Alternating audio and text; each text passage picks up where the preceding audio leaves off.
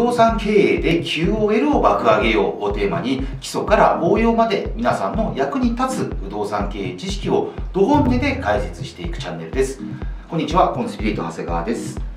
今回のテーマは不動産の評価収益還元法についてです。収益不動産の評価にはいくつかの物差しが存在しています。不動産オーナーの皆様にはおなじみすぎるトピックですけれども今回はその物差しの一つ収益還元法のお話を取り上げていきます。まず大前提。なぜ物差しが必要なのかといえばその価格が妥当かどうか論理的に説明のつく金額なのかどうかそれを判断する尺度が必要だからですね。さてその物差しにはどんな種類があるんでしょうか。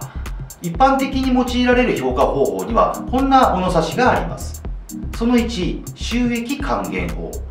その2積算法。その3取引事例法です。積算法についてはまた別の動画で解説したいと思いますがこの収益還元法にも1直接還元法と2 DCF 法の2種類に分かれます。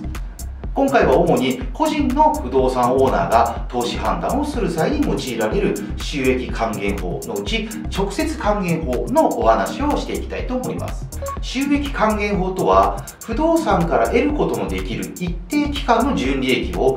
還元利回りで割って不動産の収益価格を算出する方法です。言葉で解説をしても分かりづらいので簡単な計算式に置き換えて見てみましょう。月の家賃9万円の区分マンション一室を例にするとこの部屋の維持運用コストが管理費修繕積立金月1万円。年間の固定資産税が5万円として還元利回りが5%の査定だったとしましょう。そうするとこの部屋の収益は家賃9万円引く管理費修繕積立金1万円イコール8万円。かける12ヶ月。96万円。これが年収になります。さらに固定資産税5万円を差し引くと96万円引く5万円。イコール91万円。これがこの部屋の純利益となります。そして還元利回りが5%ですから91万円割る5%イコール1820万円。というわけでこの物件を直接還元法で査定をすると1820万円の評価ということになります。というわけで計算式に当てはめてみるとめちゃくちゃ簡単ですよね。金融機関が中古区分マンションを評価する際にはこの計算を用いることがほとんどだと思います。でお気づきのことと存じますがこの計算の場合還元利回りを何パーセントに設定するかによって評価金額に大きな差が出てしまうわけですね。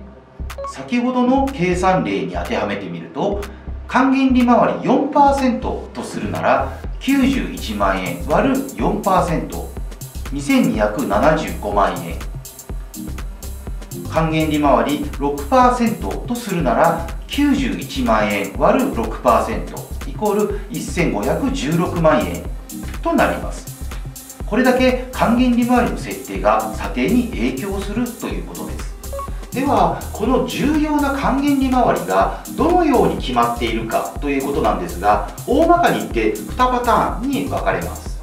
1つはその物件の周辺エリアの類似物件の取引事例や現在売りに出されている物件の利回りを参考値にするパターン。もう一つは不動産会社やポータルサイト。データベースなどで公表されているエリア別の利回りを参考とするパターン。というわけで重要なのに結構曖昧なものなんですね。どこか権威がある機関がバシッこのエリアの駅徒歩何分で何平米の物件なら還元利回りは何パーセントと決めてくれていれば気持ちがいいんですがなかなかそう簡単にはいきません。自宅に近くてよく知っているエリアなので還元利回りは低くてもいいやという人もいます。よく知らない土地なので空室率が高そうなイメージに引っ張られてしまって厳しめの還元利回りを求めるということもあり得ます。要は見る人の角度や思惑が反映する部分なのでどうしても精度が低くなりがちという弱点があります。とはいえ収益不動産の査定を行う上では現在最もポピュラーな手法であることは間違いありません。